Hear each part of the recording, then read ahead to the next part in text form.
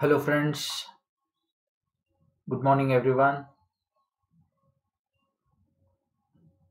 Let's crack UPSC Civil Service examination in English with Unacademy, India's largest online learning platform. Friends, my name is Mohan Krishnamurthy. I'm a geographer, author, and a teacher. I'll be teaching geography and environment as well as optional geography and geology in Unacademy. Hello, friends. Good morning, everyone.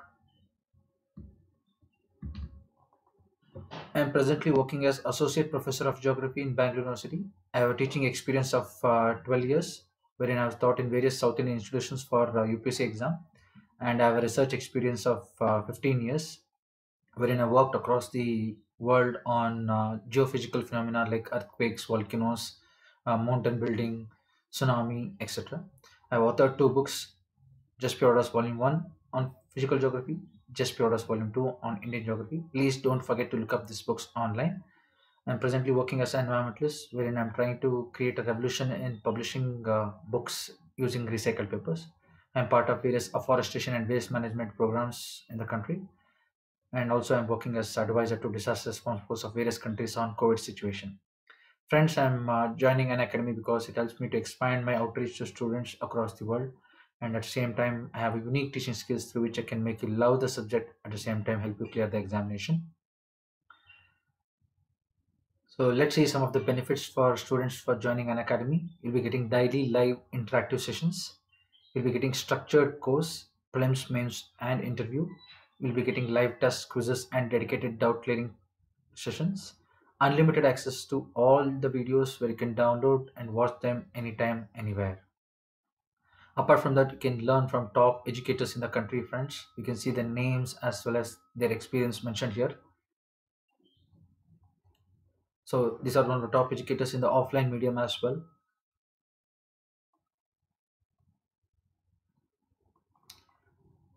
You can notice the important slide here, friends. This is about the courses available on Unacademy. All the topics in the main syllabus are taught here in Unacademy. You can see each course will have multiple subjects and each subject will have multiple faculties. You can learn from your favorite teachers as well as the popular teachers of Unacademy. Now coming to the very important slide friends, UPSC preparation requires long-term strategy and dedicated preparation. If you're preparing for 2021, go for a 12 month subscription for 40,000 and you'll be getting additional discount of 10% if you use my code. And uh, if you're preparing for 2022, please go for uh, 24 months subscription for 48,000. You'll be getting additional discount of 10% if you use my code MKUS. Please notice for 12 months and uh, 24 months, we don't have much difference. So as a result, uh, friends, please make sure you go for the 24 month subscription here. Okay. So having said all this, friends, let's come to our topic.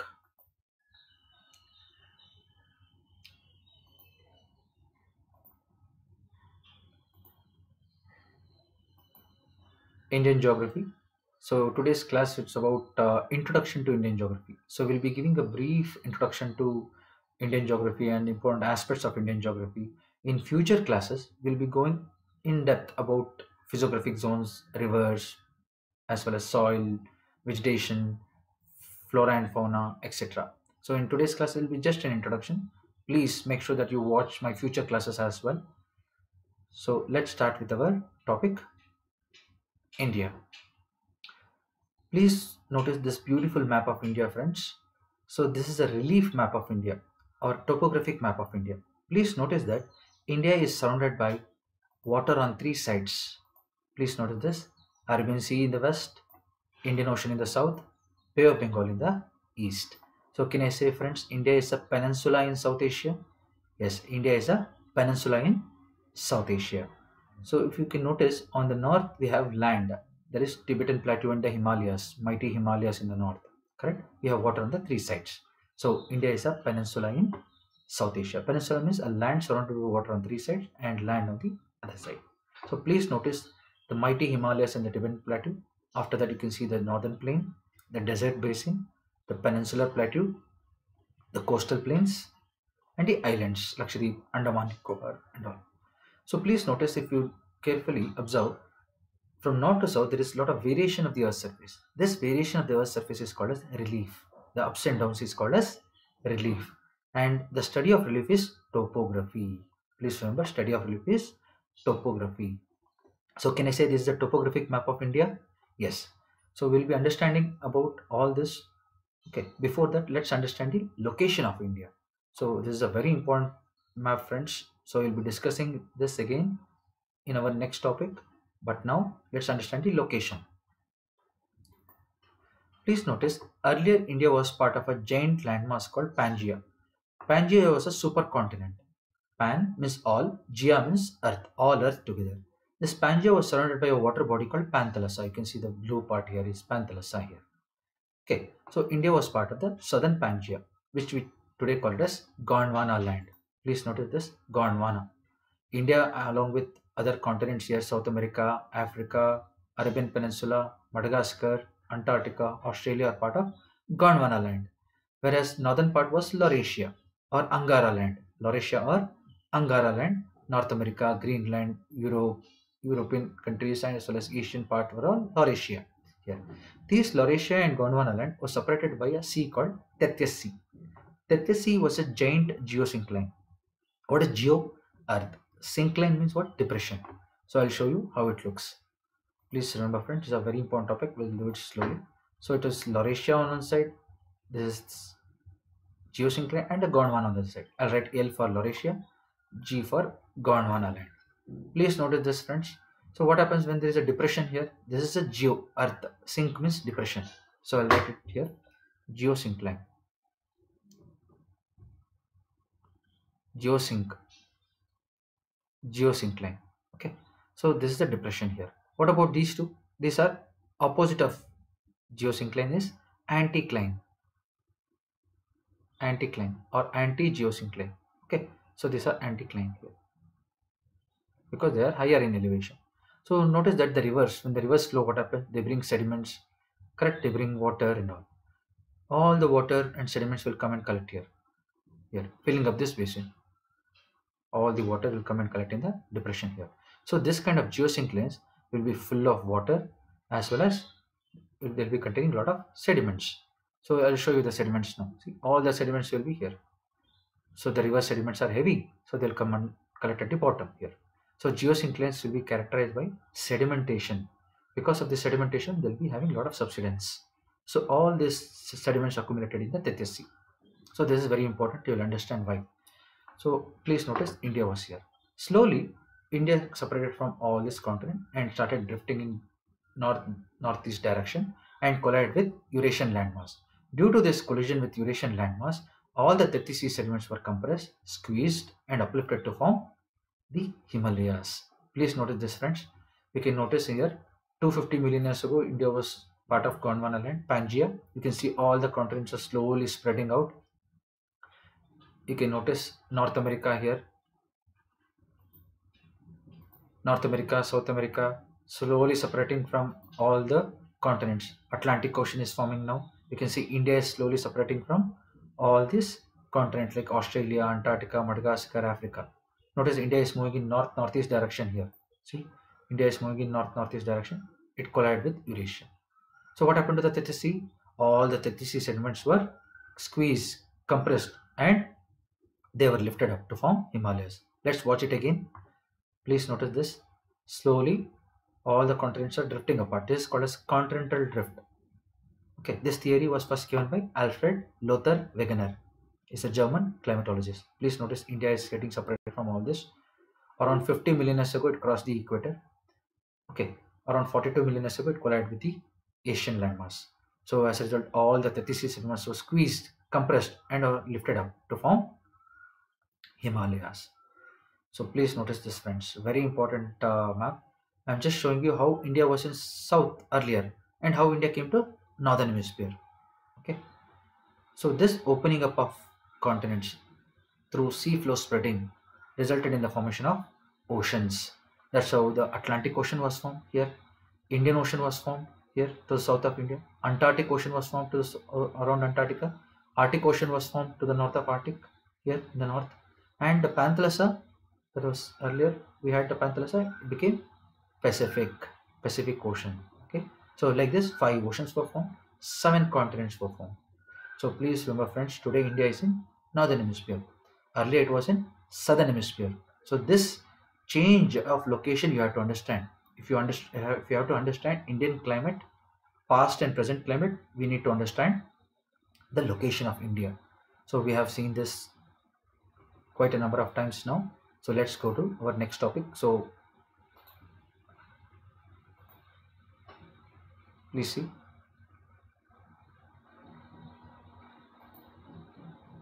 India is in northern hemisphere. So the location is clear to everyone.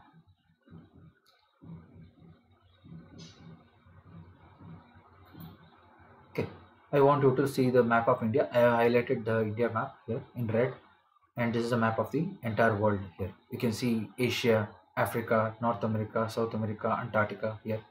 Okay, so please see Europe and Australia, Oceania. So these are the seven continents.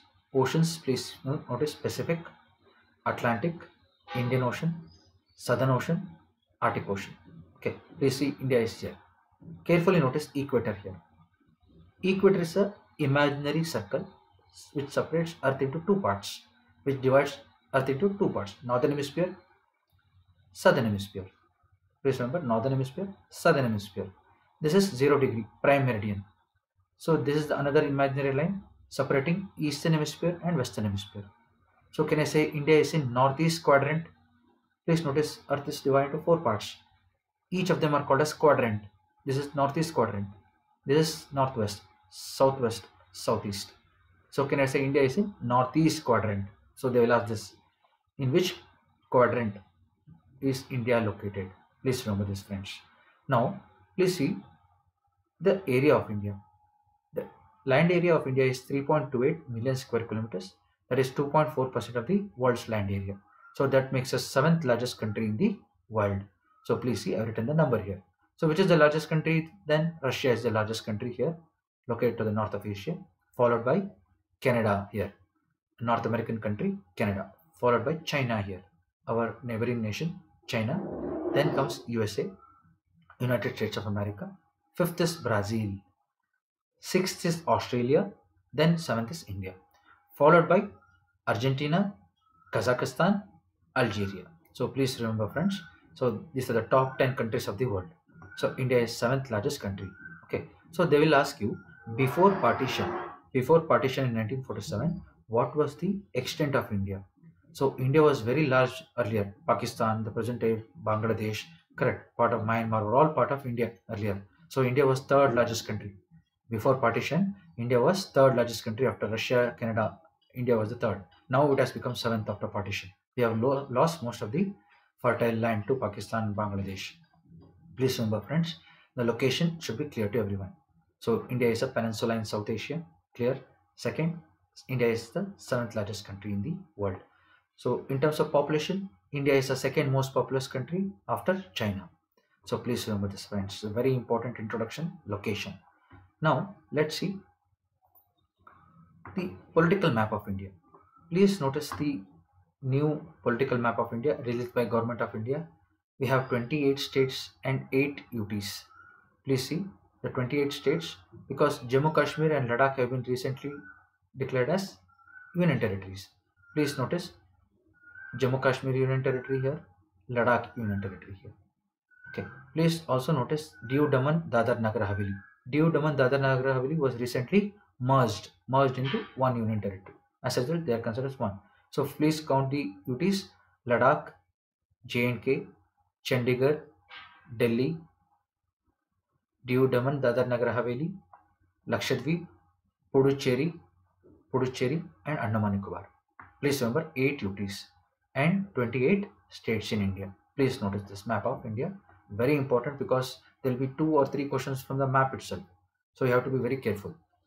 Please notice Puducherry here. Puducherry was a former French colony, okay, earlier called as Pondicherry. It was distributed across three states. See, Yanam, Yanam in Andhra coast here. Please see Andhra, Yanam coast near Godavari Delta. Then Puducherry, south of Chennai. Then Karaikal. Karaikal is also part of Puducherry. So then Mahe, Mahe in Kerala coast. These are the four parts of Puducherry, formerly known as Pondicherry. Okay, it's a former French colony. Please note this, friends. So this is very important. So can I say four UTs have coast? Andaman Nicobar, Puducherry, Lakshadweep, Diu Daman have coast. Four UTs, Ladakh, J&K, Chandigarh, Delhi don't have coastline. So please notice the other 28 states here and the neighboring countries you have to notice here. Okay, so very important map friends. Please notice the Tropic of Cancer here. Please notice the Tropic of Cancer is passing through eight states in India like Gujarat, Southern Rajasthan, Madhya Pradesh, Chhattisgarh, Jharkhand, West Bengal, Tripura, Mizoram. So these are the eight states along Tropic of Cancer. Please remember. It passes through the historical town of Sanchi Stupa near Bhopal. Near Bhopal, we have a place called Sanchi Stupa here. So Tropic of Cancer passes through that historic place. It's a World Heritage Site as well. Please remember Sanchi Stupa. Please notice Indian Standard Longitude. Indian Standard Longitude is 82 and a half degree east passing through Allahabad or Prayagraj in Uttar Pradesh. It passes through Madhya Pradesh then, then Chhattisgarh, then Odisha and Andhra Pradesh. Please notice this friend. Indian Standard Longitude passes through five states. Okay, so we call this as GMT plus 530. So this is the time zone of India. Across the country, we follow this line for addressing the time. So GMT is Greenwich Meridian Time. Greenwich Meridian Time. And please remember this pronunciation. Many faculties and many students pronounce it as Greenwich. Wrong. Greenwich is wrong. It is Greenwich. Greenwich is the correct pronunciation. Greenwich Meridian Time plus 530. So please remember they will ask this. So ISL passes through which of the states? UP, Madhya Pradesh, Chhattisgarh, Odisha, Andhra Pradesh. Can I say Madhya Pradesh and Chhattisgarh both have Tropic of Cancer and Indian Standard Longitude? Please notice Madhya Pradesh here, Chhattisgarh here, both have Indian Standard Longitude. Okay, so both of them intersect here. Baikunthpur, please write that down. So both Tropic of Cancer and ISL will coincide. I'll write the spelling here.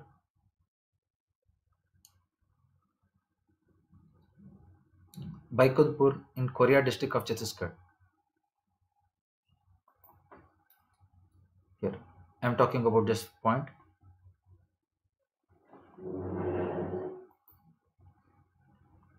One second.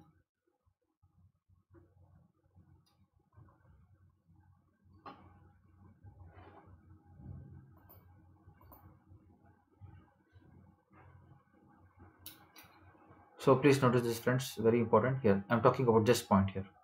I'll uh, change the color here. Please notice this point, Baikunthpur. Baikunthpur in Korea district of Chhattisgarh.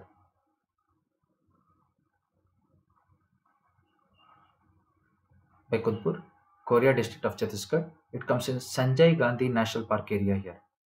There is a national park here called Sanjay Gandhi National Park okay please remember. Baikunthpur is in Chhattisgarh. So this is the exact spot where the Tropic of Cancer coincides with Indian Standard Longitude or Meridian.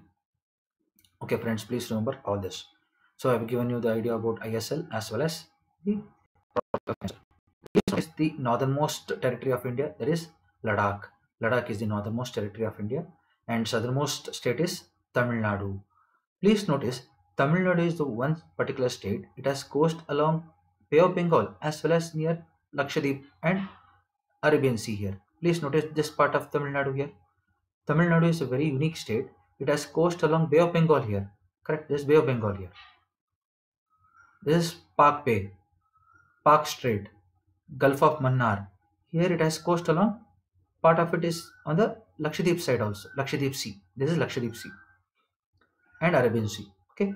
So Tamil Nadu is a very unique state which has coast towards Bay of Bengal as well as Arabian Sea. They will ask which state in India has coast in the east as well as west. Tamil Nadu is a state having coast in the Bay of Bengal side, Indian Ocean as well as Arabian Sea. So we have to be very careful when you notice the map. So this question they can ask.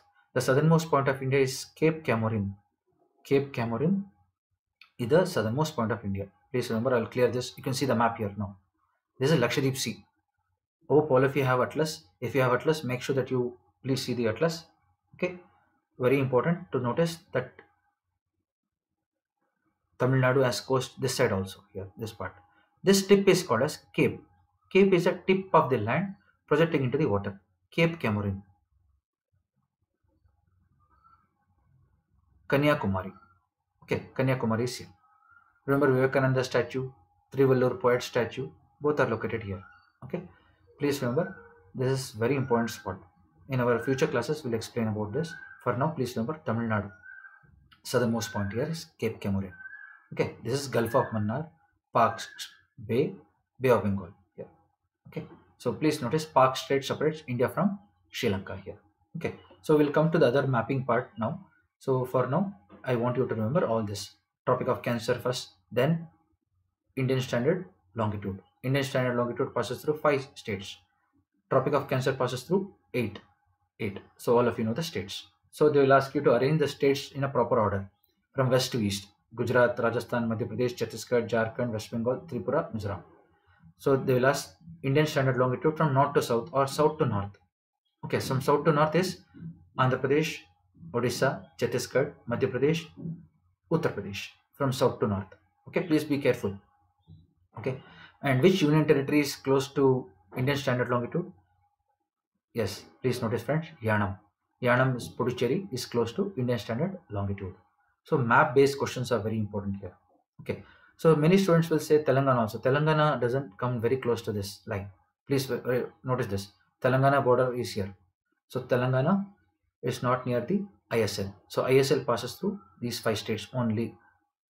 Please remember this friends. Very important topics we have covered. Now I want you to notice the border now. So next map will be about the border of India. So we'll come back to this map. Let's go to the border now. Please see. Okay. Border. So what is border? Border is a line which separates two countries. Border is a line which separates one country's jurisdiction from the other. Okay. It separates one country's property from the other. So we have two types of border. Land border, maritime border. So please notice this friends. I have written this land and maritime. Maritime is related to the water body, ocean or sea. Okay, let's understand the land border first. Please notice India is a land border of 15,106.7 kilometers. So this is the land border of India, 15,106.7 kilometers. In many books they have given 15,200. That is approximate number. So remember this exact exact number they will ask in the prelims. Okay. So we share land border with seven countries. Please see longest is Bangladesh here. Bangladesh first. I'll write one. Second is China. Third is Pakistan. Fourth is Nepal here. Fifth is Myanmar. Sixth is Bhutan. Seventh is Afghanistan here. With Afghanistan, we have border of 106 kilometers. So we should consider this northernmost point as this point here. Okay. So very important because recently the Home Ministry, Ministry of Home Affairs, released this map saying the northernmost point of India is here. Okay. So we should never accept illegally occupied part of uh, Jammu Kashmir by Pakistan and China. Okay, we should always say it is our territory. Please remember that. So land border is clear now. Seven countries we have land border. Now come to the coastline. So India has coastline of how much? 7516 kilometer. 7516.6 kilometers, including the islands of Lakshadweep and Andaman Nicobar. So can I say India has a very vast coastline? Yes, we have coast along Arabian Sea, Indian Ocean, Bay of Bengal, as well as in Andaman Sea. Please remember this. So maritime bordering countries are, please see, the maritime bordering countries are Maldives. Please see Maldives. India is separated from Maldives by 8 degree channel. Please remember this. This is Lakshadweep. This is Maldives. India is separated from Sri Lanka by Palk Strait. Please remember this. India is separated from Indonesia by Nicobar Channel. Nicobar is here, Great Nicobar. Okay, our southernmost point, Indira Point here. Okay, I am marking here. And India is also having coast with Thailand in Andaman Sea. Okay, recently there was a smuggling issue in Thailand from this region. So I said, that Thailand has border with Andaman Sea. So these four countries, Thailand, Indonesia, Sri Lanka, and Maldives. So with these four countries, we have exclusive maritime border. Exclusive maritime border with four countries. Now I'll ask you a question. With how many countries we have both land and maritime border? With how many countries we have both land and maritime? Please see, with Pakistan, we have both land border as well as maritime border here. Okay. With Bangladesh, we have both land and maritime border. See, with Myanmar, with Myanmar, we have both land and maritime border. With three countries, we have both land border and maritime border. So like this, you need to have clarity. Okay. So this is very important, friends. I'm telling you, one map-based questions will come from this class. So I request you to watch this repeatedly. Help your friends with this video so that they also remember this. So we have covered extensively. Let's cover the bordering states now. Please see the land bordering states. Start from here, please. I'll show you the map of India and tell you the land bordering state. Now, please see across the land border. Please notice Gujarat here. Gujarat shares border with Pakistan. Then Rajasthan shares border with Pakistan. Punjab here. Okay. Then J&K, Ladakh. So Ladakh and J&K map you can see here. They are UTs. These two are UTs. Punjab, Rajasthan, Gujarat are states. You can see. Okay. Followed by here on the Chinese side, I want you to see Ladakh here, Himachal Pradesh, Uttarakhand. Please see. Then Sikkim, Arunachal Pradesh with China here. Okay. Please remember. Very important because of recent uh, border intrusion by China and tense situation between China and India. We need to remember the border carefully. Okay. Then please see with Nepal, we have Uttarakhand, Uttar Pradesh, Bihar. You can see small border with West Bengal also here. Then Sikkim. So Nepal is also bordering with five states in India here. Please notice this. Then see Bangladesh, West Bengal here, Assam, Meghalaya. Please notice Tripura and Mizoram here. So Bangladesh is, is having the longest border with India. It is having border with five states here. Okay. Then see Myanmar, Arunachal Pradesh, Nagaland, Manipur, Mizoram. Please make sure that you have atlas and just check them as well. Okay. Myanmar. See Bhutan, Sikkim, okay, Assam, West Bengal, Arunachal Pradesh. Please remember this friend. So these are the border. Then Afghanistan here with Ladakh. Afghanistan is having border with Ladakh now. Okay, so after the bifurcation of Jammu Kashmir into Ladakh and Jammu Kashmir Union Territory, you should know the exact map. So please notice how many states, I'm asking you a question. How many states are along the international border of India? Please answer that question. How many states? How many states are along the international border? Don't take these two, UT. Okay, tell me the states. How many states are along the international border of India here? Starting from Gujarat, Rajasthan, Punjab, please remember this, Himachal Pradesh, Uttarakhand, Uttar Pradesh, Bihar, West Bengal, Sikkim, Assam, Arunachal Pradesh, Nagaland, Manipur, Mizoram, Tripura, Meghalaya. 16. 16 states and 2 UTs. 2 UTs are along the international border. Are along the international border of India. Which are those 16 states I just mentioned? 2 UTs are Ladakh and JNK. Here, please remember this, friends. So 16 states. Please remember how many? 16 states. This is very important. 16 states and 2 union territories are along the international border of India. Now come to the coastline. Please see the coast.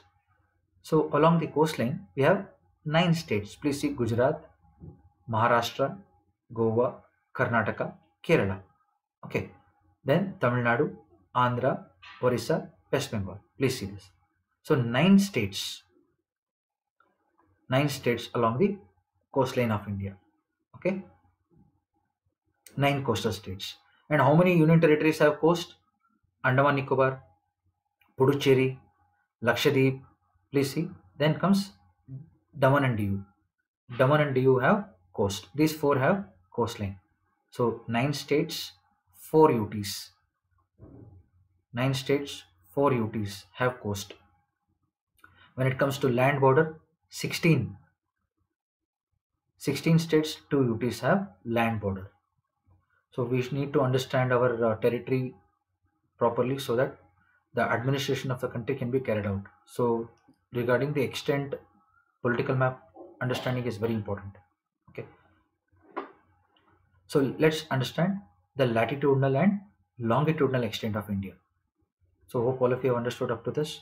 Okay, very important that I request all of you to see the states also. Okay, which is the largest state? Yes, Rajasthan is the largest state by area. By population is Uttar Pradesh. Please see Uttar Pradesh here, friends. It is the largest state in terms of population. So what about uh, Sikkim and Goa? Please notice Goa is the smallest state in terms of area, but population wise, Sikkim. Sikkim is the smallest state in terms of population. Okay, so which is the easternmost state of India? Arunachal Pradesh here. Arunachal Pradesh is the easternmost state. Westernmost state is Gujarat here. So this was the question asked in the UPSC paper. Northernmost is Ladakh now. Southernmost is Tamil Nadu. Okay, please remember this, friends. If you take Andaman Nicobar, you can have to talk about Great Nicobar Island here. That is the southernmost point of India. I'll show you that now. Okay. Please notice this latitudinal and longitudinal extent of India. India's southernmost point is Indira Point, named after our former women Prime Minister Indira Priyadarshini Gandhi. Here, this is the Indira Point on Great Nicobar Island. Nicobar. Please remember, friends, 6 degree 45 minutes north. Okay, because India is slightly north of equator here. This point is slightly north of equator, 6 degree 45 minutes north. The Indira Point, Pygmalion Point is also called as Parsons Point. Parsons Point is a British geographer. Okay, so as a result, it is named after him. Then, if you come to the mainland, this is mainland.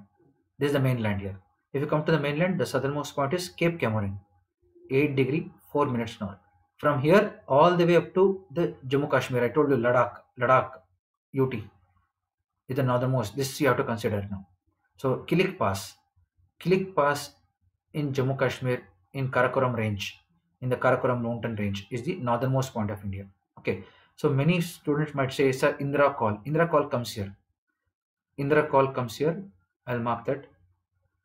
Indra col. Indra col. Col means pass. High mountain pass like this. Let's say these are the mountains here. You can see this is the valley. And that is called as pass here. Valley pass here. Because valleys are deep points where you can easily access them to cross.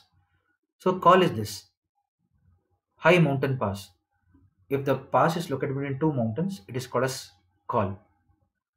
Okay, please note this. I'll, I'll write this again. Col.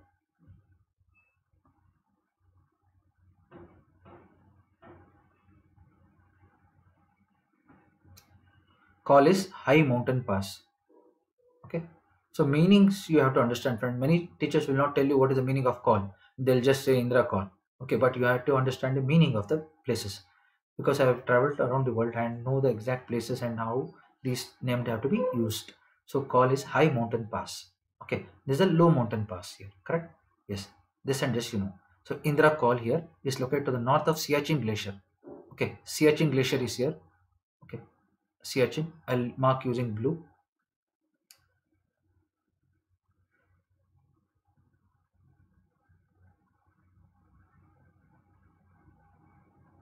Please notice Siachen Glacier here. I am marking the Siachen Glacier, India's longest glacier and second longest glacier outside the polar region. Siachen. I'll write the spelling here. Siachen Glacier is 76 kilometers long. It is India's longest glacier. It is second longest glacier outside polar region. The first is Fedchenko. Fedchenko Glacier in Tajikistan, 77 kilometers long. So this is in Tajikistan. Tajikistan comes here. Here, it is here. Fedchenko Glacier is here. One. Siachen is here. Okay, please see. Siachen Glacier comes in Karakoram range. Okay, whereas the 77 kilometer Fedchenko comes in Tajikistan here in Pamir. It comes in Pamir, Pamir mountains of Tajikistan. So Indra Col is the northernmost part of this. This area. Okay. So extreme north, you have to take which point? This point here, Kilik Pass. Okay. So this is here. What about highest peak of India? Highest peak of India is K2. It comes here, K2. Godwin Austen, K2. You see, K2 is the highest peak of India. K2. Godwin Austen, the first person to climb this, so his name is given. Godwin Austen, 8611, 8611 meters tall, 8611 meters tall. Please remember, friend, this is the northernmost point. Many students will say Kanchenjunga. Kanchenjunga is second. Please remember, Kanchenjunga in Sikkim, Nepal border is second. First is this because this is our territory. J and K Ladakh is our territory. So please remember, K2 is the highest peak. What about lowest point? Here. In Kerala, there is a place called Kuttanad. Kuttanad in Kerala. Kuttanad in Kerala is minus 2.2 meters below sea level. Minus 2.2 meters below sea level. As a result, Kuttanad in Kerala is the lowest point in terms of elevation. Please remember, in terms of elevation, Kuttanad in Kerala, coastal area near Chengannur, near Chengannur of Kerala, and please remember, highest peak is K2. So northernmost to southernmost point, please see from 8 degree 4 minutes north here to 37 degrees here, 6 minutes north. Okay, degrees are divided into minutes, minutes are divided into seconds. 37 degree 6 minutes. So the extent is 3214 kilometers. 3214 okay. And the latitudinal extent is 29 degree 2 minutes 25 seconds. Please remember this. Okay. Watch this video again friends and make sure that you remember every point i'm mentioning. Okay. Very important. Okay so this latitudinal extent of india helps us to understand the rainfall distribution temperature distribution seasons correct as well as the length of day and night and all we'll understand from the latitudinal extent those are our next topic in Indian geography. Now understand the longitudinal extent. Longitudinal means east-west extent. Starting from Kibitu village. Kibitu village in Arunachal Pradesh. In Arunachal Pradesh here. Arunachal Pradesh is the easternmost. See the name Arunachal, the land of rising sun. Since it is in the easternmost part, sun rises here. So the name Arunachal. Remember Arunachal is a Sanskrit word correct Dravidian term where you say Arunachal means rising sun. Okay, Arunachalam, please remember Arunachal Pradesh. Okay, Kibitu village. The westernmost point is Guhar Moti. Gormutu in Sir Creek, Gujarat. Gujarat here. Okay, that is the westernmost point of India. Please remember. East-west extent is 2,933 kilometers. 2,933 kilometers is the east-west extent. Please remember the longitudinal extent will be 29 degrees 17 minutes 14 seconds. Okay? That's how you have to understand the east west extent. Friends this is very important. You have to remember the longitudinal extent of india helps us to understand the local time as well as sunrise sunset time. Okay? And how india is maintaining its time zone we'll have to understand using longitudinal extent in my next class i'll be discussing time zone of india there we'll be understanding this in depth okay you can also notice here 82 and a half degree east isl i have marked Please remember, friends, these are the, some of the important topics we have covered today. I have given you a lot of information, more than what anyone would have told you, correct? So please remember this points. Let's continue now. We have covered land, maritime border, political map, correct? Let's come to the coastline of India now. Please notice the coastal part. You can see the coastline map here. Arabian Sea. You can see here Indian Ocean, Indian Ocean, Bay of Bengal. Andaman Sea. Okay, please notice all this. Andaman Sea. Okay, please remember it. Very important now. This white part here, what you're seeing is the shelf of India here. Shelf, slope here, and the abyssal plain. Please notice this. The white part is the continental shelf extending under the water. Then comes the slope, rise, and the abyssal plain here. I'll show you the map. Okay, we'll understand that here you can notice the shelf shelf here very small shelf white part here okay please notice the shelf slope and the abyssal plain okay please notice this i'll show you the map of india and i'll explain for now please notice the physical coastline of india okay let's understand this now we have to understand the uh, coastline very well now we'll be discussing about territorial waters okay so there is something called high tide and low tide because of gravitational pull of sun gravitational pull of moon and the centrifugal force of earth there is rise and fall of ocean water. This rise and fall of ocean water is called as tides. Tides. Okay. So because of the tides, there will be high tide mark and low tide mark. Friends, please notice this. High tide mark and low tide mark. I'll show you the map now. Please see this. Because of the tides, every coastline will get high tide, every coastline will get low tide. Okay. This high tide and low tide is very important for us to understand the territorial water of India. Okay. So this low tide mark, what you are seeing, acts as the baseline. It acts as the baseline. All the water here, you can see here, this water, where we have lagoons, deltas, estuaries, creeks, coastal lakes, lagoons. Remember Chilka Lake, Pulicat Lake, Vembanad Lake, Godavari Delta, Ganga Delta, all that are called as internal water. What is that called as IW? Internal water. Please remember that. That is all the water within low tide. Within low tide mark is called as internal water. That is part of the state. Okay. Then from this baseline, 12 nautical mile. 12 nautical mile is territorial zone, TZ or territorial water, TW. 12 nautical mile is territorial waters. 1 nautical mile is 1.85 kilometers. Please remember 1 nautical mile. 1 nautical mile is 1.85 kilometers. So 12 nautical mile here.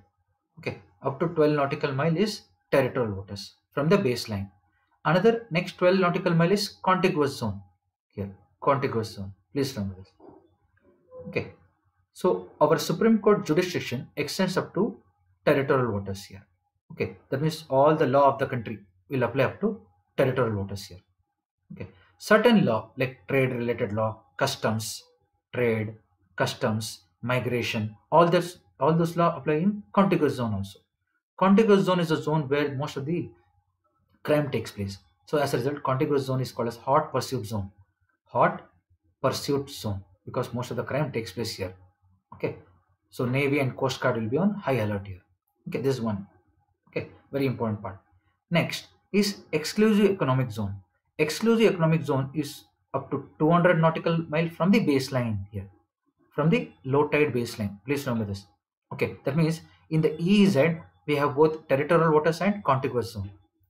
In the EEZ, first 12 nautical mile is territorial, second 12 nautical mile is contiguous zone. Please remember this.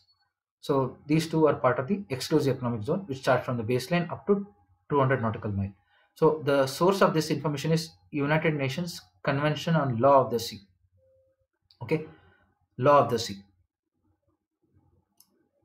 This is a map from UN website. Okay, I'm using the map from UN website. This is a source UN. Sources UN. Okay, please remember this. So exclusive economic zone here. Beyond that is all high seas. Okay, so this is one part you have to understand. So we'll see the territorial waters, contiguous zone, and exclusive economic zone of India. Exclusive economic zone means we can use this area exclusively for economic purpose. What is that exclusive economic purpose? Oil, natural gas exploration. Okay, shale oil, shale gas, polymetallic nodules, correct deep sea mining, all that we can do here in the EEZ area only for economic purpose okay? Not for political okay? Only for economic purpose we can use this. Please see the bottom part here. The shelf the shelf is up to here. This part the shallow part. After that the slope the continental slope here. Then comes the rise. Again the land is rising continental rise. After that comes the flat surface called deep sea plain. So you can see this is very deep here okay? Deep sea plain or abyssal plain. Okay friends let's see the map of india now let's understand all this now. So we'll be talking about the ez so if they ask you ganga delta is part of which zone? Yes internal water. Ganga delta godavari delta correct? Netravati delta ulhas river delta all those are internal water. Chilka lake largest lake of india it is part of internal water in the coastal areas of odisha. So remember territorial waters internal water. Internal water is within the baseline okay territorial water is from the baseline 12 nautical miles. Now coming back to the india map please notice the ez map of india.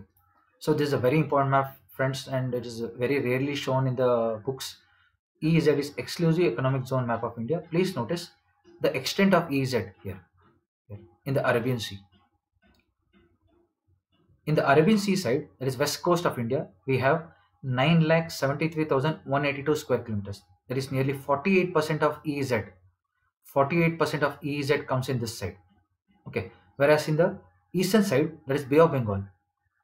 Bay of Bengal area, we have 4,45,011 square kilometers.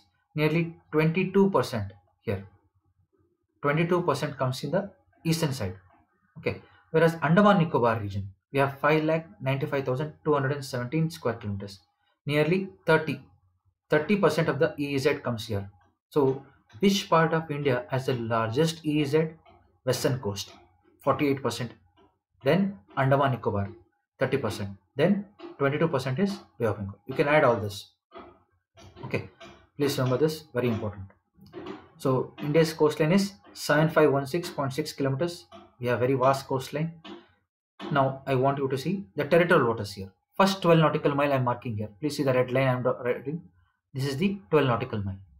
Another 12 nautical mile is the contiguous zone. I'm marking that here. Contiguous zone here. Okay.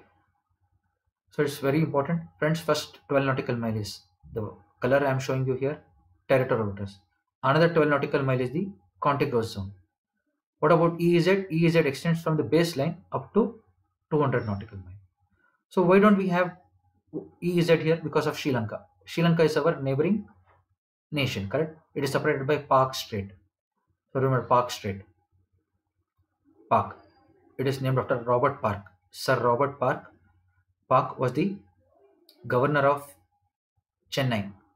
He was a governor of Chennai. Please remember, during the British rule, he was a governor of Chennai. So Robert Palk. P-A-L-K. L silent. Okay. Robert Palk. You have to pronounce it as Park. So there is reason here our EEZ is limited here around Sri Lanka all of you have seen the EEZ map of India. You can see one nautical mile is 1.85 kilometers. Please remember friends, this EEZ zone is very important for us. We can extract oil, natural gas in this region. All the resources belongs to us, correct? Oil, natural gas, shale oil, shale gas, shale oil and gas, polymetallic nodules, polymetallic nodules. Okay. Also, we should remember about atomic minerals. Atomic minerals like thorium from the monazite sands of Kerala here and Orissa, correct? Thorium we get here. Atomic minerals. All this is very important, friends. Please remember. Okay. So these are the marine resources of the country. So this is the reason where most of the marine resources are located. We can use those for our economic development. So why are we interested showing interest in the EEZ now? Why are we showing interest in the EEZ because most of the resources on the land are getting depleted. Most of the land based resources are depleted now. That is the reason we are looking towards the ocean on either side.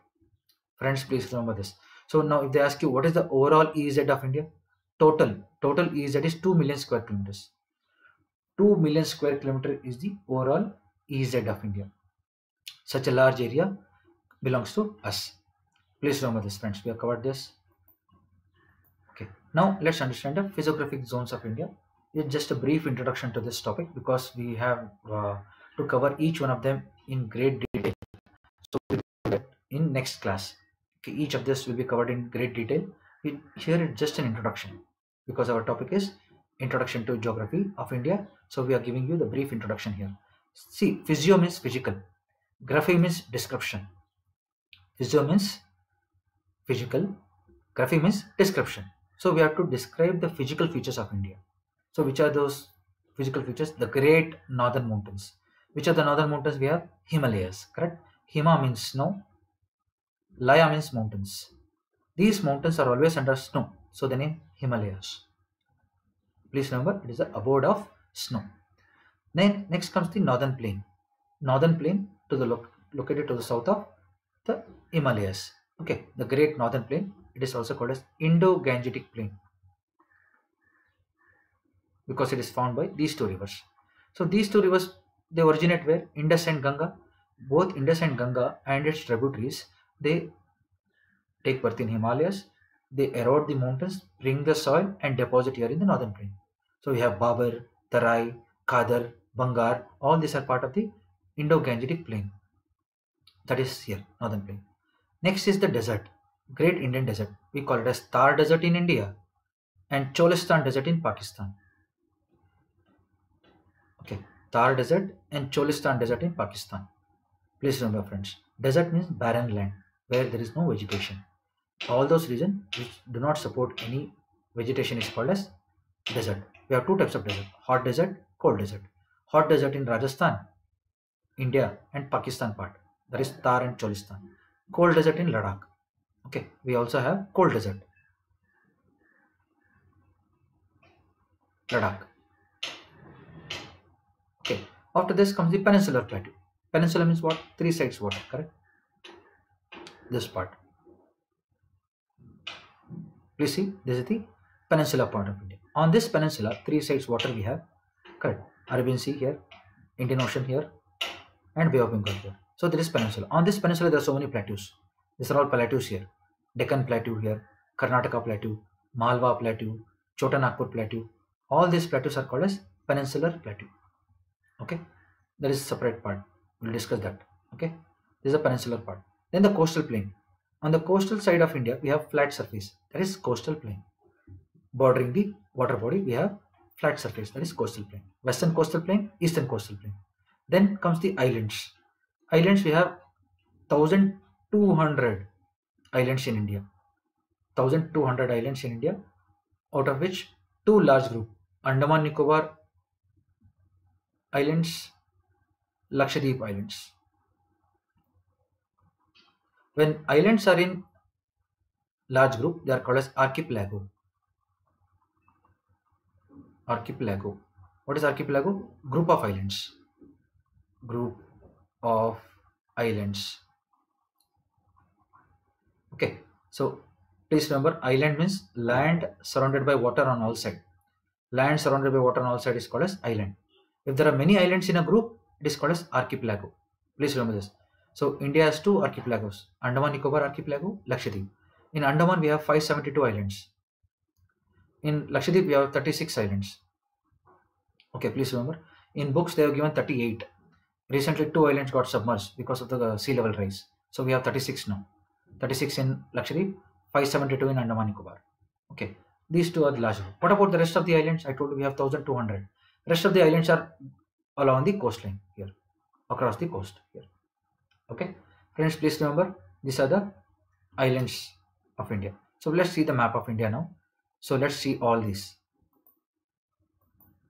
Please notice the great northern mountains here. The great northern mountains cover many countries like India, Pakistan, China. You can see Myanmar here, Nepal, Bhutan, correct? And the Central Asian countries. So Himalayas are part of many countries. So this is Himalayas here and Tibet. This is Tibet. Please remember friends. Okay, earlier we had only this landmass. This peninsula part of India was there. It came and collided with the Eurasian landmass. The Tethys sediments were squeezed, compressed and uplifted to form Himalayas. Okay, so remember, continents and oceans were the first landforms we had. They are first order landform. When the continents continents collide, what happens? Mountains are formed. That is second order landforms. Okay, mountains are second order. Let's say Himalayas and Tibet are second order landforms. When these mountains erode, how do they erode? Because of the rivers. The rivers coming from the Himalayas, they erode the mountains. They bring the soil and they deposit here in the plain here. So that is third order landform. Plains are third order landforms here. Please see, there is a depositional surface here. So please notice the large depositional plain called Indus plain here, Ganga plain here.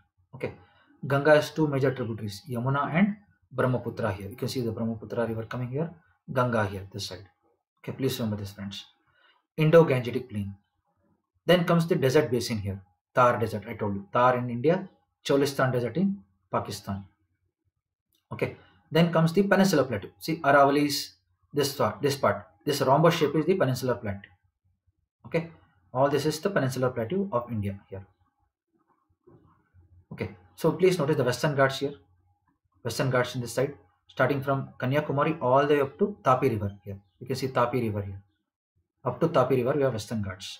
Okay, these mountains were formed when India got separated from Madagascar. They are formed due to faulting.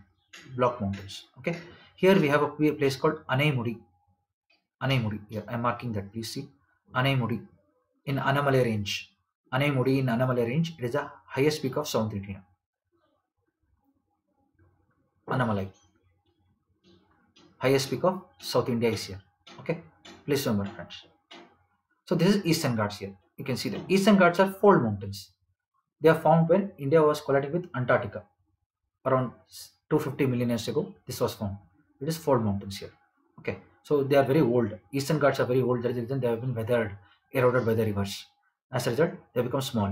Western ghats are young because they are recently found when india got separated from madagascar. As a result western ghats are taller okay? Please remember so this is the peninsular plateau last comes the coastal plain i told you remember this is the coastal plain here from gujarat this is saurashtra konkan coast please see i'll use the blue color I'll change the color. This is the Saurashtra coast or I'm using yellow here. Please see Konkan coast, Canara coast, Malabar, Malabar coastal plain here. After this is Coromandel here. Up to KG basin is Coromandel coast. This is KG basin, Krishna Godavari basin. Please remember Coromandel, Coromandel coast here. Okay. KG basin. Then call, this is called as Northern Sirkar. Northern Sirkar. Sirkar means Suba or province. Earlier this part, Vishakhapatnam part was part of Madras Presidency. So it was a northern province of Madras Presidency. So Northern Sirkar. Then comes Orissa coast, Utkal. Utkal coast. Remember Utkal? This word comes in our national anthem also. Utkalavanga. Remember? National anthem. Eh? Utkal. Utkal means Orissa coast. Old name of Orissa. Then comes the Bengal coast. This is Sundarbans. Here, Sundarbans. Okay.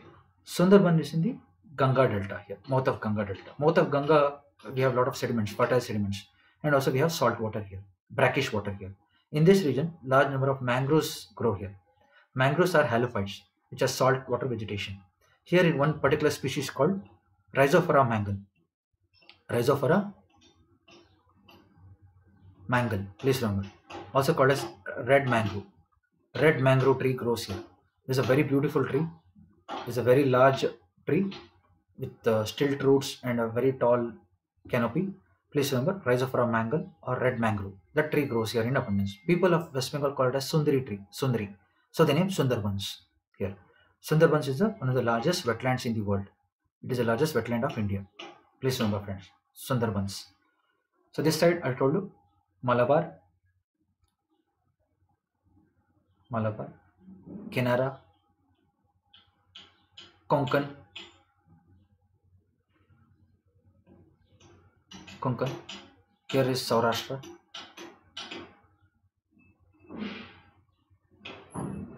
Please remember, friends, these are all very important. Okay, Konkan, Canara, Saurashtra. Okay, this is Run of Kutch. here. White salt desert of India is Run of Kutch. Run of Kutch. R A N N. Run in Sanskrit means barren. White salt areas are called as Run in Sanskrit. Run of Kutch. Okay. So this is the coastal plain. Last is the islands. You can see the Lakshadweep islands here and Andaman comes here. Okay. Andaman island comes here. Remember friends, we have covered the physiographic zones of India. A brief introduction to these topics we have covered. So in next my next class, I'll be covering each one of them in great detail. Already I've given you a lot of information. Please remember, in future classes, we'll be adding extra information to these topics. Now, please see all the six parts of physiography I have mentioned here. Okay, I want you to make sure that you watch this again and copy all the details that I have mentioned here. Now, coming to the seasons of India. Please remember, friends, the important seasons of India are these are called as national seasons. In Sanskrit, they are called as Ritu. Ritu. Seasons are division of the year. Based on ecological and meteorological changes, we can divide the year into six seasons in India because India is located in equatorial, tropical, subtropical region. So India has vast climatic variation.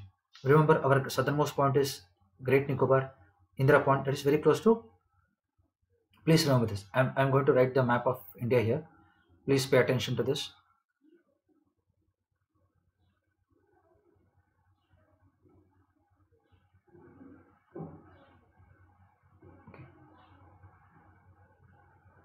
Please wait, I will cover this soon. Okay, very important to understand the location of India.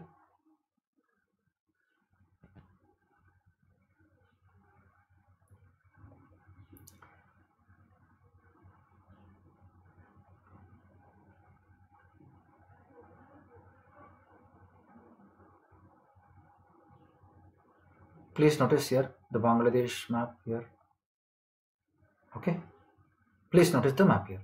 So southernmost point comes here, Nicobar area. Okay, very close to equator here. This equator. So India has equatorial climate here because it is close to equator. It is close to equator here. Which point? Andaman Nicobar, Great Nicobar. From here to Tropic of Cancer is tropical India here. This is tropical India here. So please draw the map of India and practice this. Okay, this is subtropical India. So drawing map of India is very important and is also very difficult also. So hope I have written a proper map. Okay, so subtropical India, here is northern India here. So then see Himalayas. Because of the mountains here, see we have Himalayas, I'll show you in red.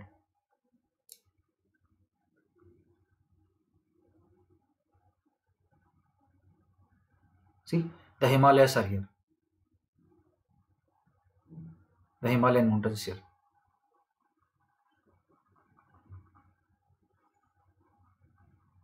This Pamir, Pamir region. This is the Himalayas here. This is the Pamir region Hindu Kush. These are the great Himalayan mountains. Karakoram, Ladakh, Jaskar, Greater Himalaya, Middle Himalayas, and Shivaliks. This is the northeastern Himalayas here. Patkai Bum, Naga, Manipur, Mizoram, Arakan Yoma. Okay, please remember this, friends. So this is Himalayas. Himalayas are very tall, correct. So as you go over the mountains, what happens? Temperatures decrease. So temperate climate. So Himalayas gives us temperate. Further above the snow line, it is alpine. Further above the snow line is alpine climate. So friends, remember India has equatorial climate, tropical climate, subtropical climate, temperate and alpine. We have climatic diversity in India. So that is reason the temperature varies across the country, rainfall varies across the country. Okay, please remember in the subtropical regions we always record the highest temperature. Please remember Ganganagar in Rajasthan. Ganganagar in Rajasthan I am marking here. Record the highest temperature. Ganganagar. 54 degrees Celsius. Okay, the coldest temperature recorded in the Himalayas, Dras, a place called Dras. Because I told you, Dras is in Himalayas. As you go above the Himalayan mountains, what happens? Temperature decreases here. Dras, minus 60 degrees Celsius. So in India, we have the hottest place, that is Ganganagar, and the coldest place is Dras. Dras comes near Kargil. Kargil, Ladakh region. Okay, minus 60 degrees Celsius. Please remember these two friends, very important. So let's understand the seasons here. So there are six seasons. First one is Vasanta Ritu, spring, from February 19th to April 19th. So Grishma Ritu, summer. We are in this now. Okay, June 20th to June 21st. Why June 21st? On June 21st, sun comes here over the Tropic of Cancer. June comes over Tropic of Cancer here. Sun rays will be vertical over this line. So remember, International Yoga Day is celebrated on this June 21st. Then comes Varsha Ritu. Varsha means rain. All these are Sanskrit terms, friends. Please remember, monsoon rain starts during these months, June, July, August, and all. So very good rainfall occurs during these months. Then Sharat Ritu. So that is rainfall slightly decreasing. This is autumn, August, September, October. Okay, Sharat Ritu. Autumn means the sunlight decreases now because sun will be going towards southern hemisphere. What happens when sunlight decreases? Chlorophyll decreases. When the chlorophyll decreases, the green pigmentation is lost. There is a breakdown of chlorophyll. So green pigmentation is lost. It many deciduous plants will become yellow and red in color. Leaves leaves of these plants will become yellow and red in color. That is autumn. Then Hemanta Ritu. Hemanta Ritu is pre-winter or fall season.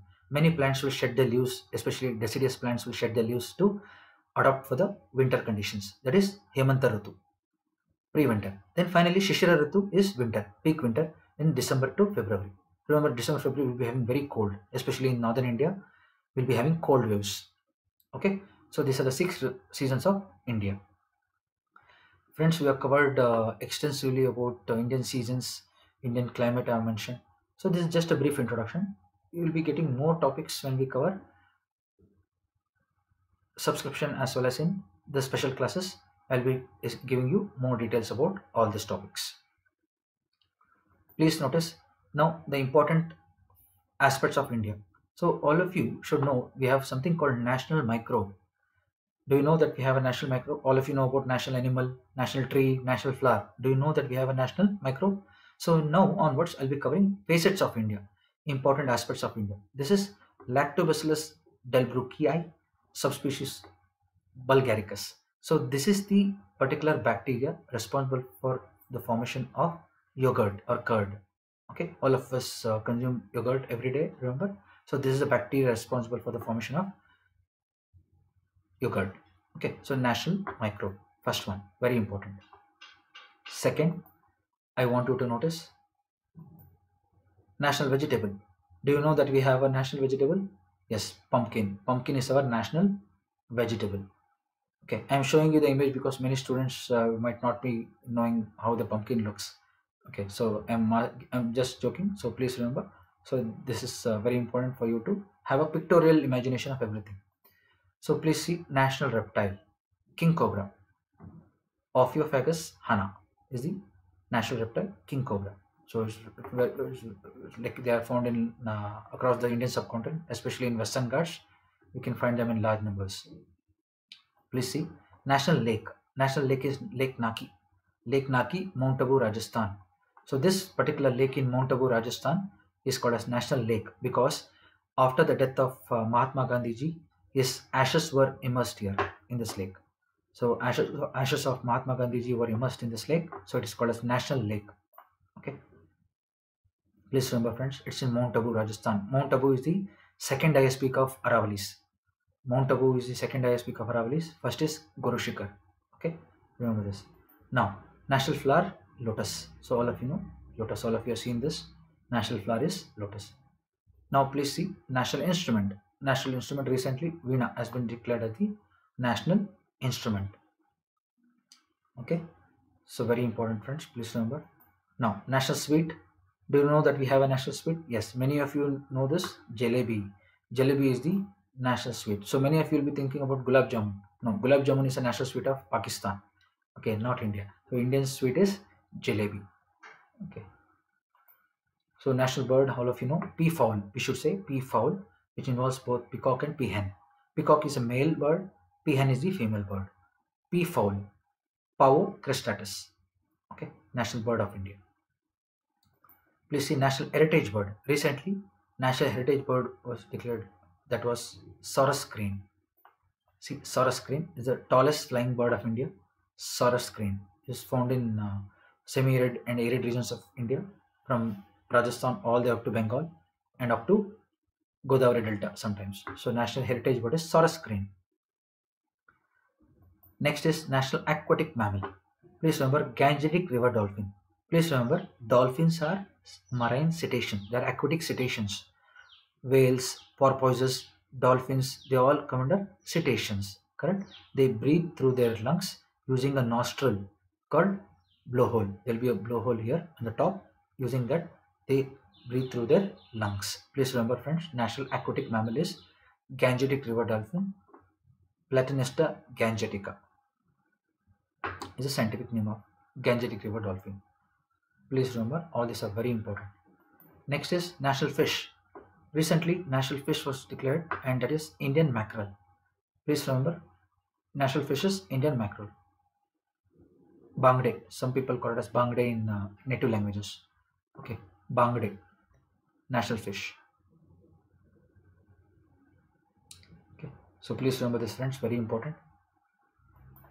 Next is all of you know our national animal Panthera tigris, Royal Bengal tiger. Royal Bengal tiger is our national animal. So all of you know this. So there are 50 plus uh, tiger reserves now. Okay, tigers are territorial and they are the top carnivore. They maintain ecological balance. They maintain the balance in the food chain. So they are very important species. Friends, please remember. National heritage animal is Indian elephant, Elephas maximus indicus. Please remember, friends national heritage animal is Indian elephant. National fruit is mango. all of you know national fruit mango. Friends we have covered some of the important aspects of indian geography. Extensively i think we have covered some of the important topics. So if you have any doubt please let me know. And the last one is uh, national tree banyan tree. Please see. National tree is banyan. Okay. So you can see this in across indian subcontinent ficus bengalensis. Ficus bengalensis is the scientific name. Banyan tree. Okay. All of you notice the national river. Please see ganga. The ganga covers very large basin here in northern india. Correct? It is a lifeline of northern plains. It has large territories. You can notice. It is one of the rivers with the largest river basin in the world. This is a river with largest river basin in india also. Okay please remember. The ganga river take birth in uttarakhand panchaprayags panchaprayag of uttarakhand vishnu prayag karna prayag Devaprayag. Correct. There are so many five prayags here. So first is Vishnu Prayag, Nanda Prayag, then Rudra Prayag, Karna Prayag, and Devaprayag. From these five Pancha Prayags, we get Ganga. After Ganga enters the plains, you can flow southwards, then eastwards here. You can see here. Okay. Please notice the flow here, Ganga. So Yamuna comes from Uttarakhand again, from Bandarpunch Glacier, comes and meets Ganga at Prayagraj, Allahabad. Correct? Ganga, Saraswati, Yamuna meets here. Okay, Saraswati comes in the form of spring. So three rivers meet here, Panchaprayag. So Prayagraj, Allahabad. After that, river Ganga flows through this region from Uttar Pradesh to Bihar, Jharkhand, and West Bengal. You can see here many tributaries of Ganga. You can see here. I've written it in blue. So please notice Brahmaputra. Brahmaputra comes from Tsangpo region here. Tsangpo is the name of Brahmaputra here. Comes from Manasa Lake here. Okay, so this is also called as Yarlung Tsangpo. It flows through Tibet, China, and enters India near Namche Barwa here. A peak called Namche Barwa. It flows through the Arunachal and Assam. Here in Assam, it's called as Brahmaputra. It is called as Dihang in Arunachal Pradesh. It is called as Jamuna in Bangladesh. Jamuna meets Ganga, it becomes Padma. Padma meets Meghna, it becomes Meghna. All this river forms delta here in Ganga, in the mouth of Ganga here in Bay of Bengal. So please remember, friends, mouth of Ganga is in Bay of Bengal. This is the largest delta in the world. Remember, I was talking about Sundarbans? Yes, we have Sundarbans here. So, friends, we have covered uh, many topics today. I think extensively we have covered uh, Indian introduction. So, please remember to like, subscribe, and share my video. And when you subscribe, please don't forget to use my code MKUS for additional 10% discount. In my next class, I'll be covering all the physiographic zones in detail. I hope all of you have enjoyed the class. Thank you. Have a nice day.